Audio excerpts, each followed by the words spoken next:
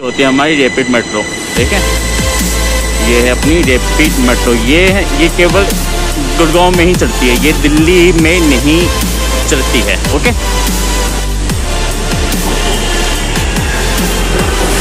देखो भाई, ये रहा, ठीक है? Rapid metro